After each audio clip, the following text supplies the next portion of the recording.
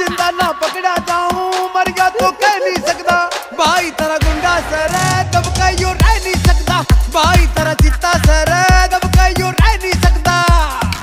बदमाशी बदमाशी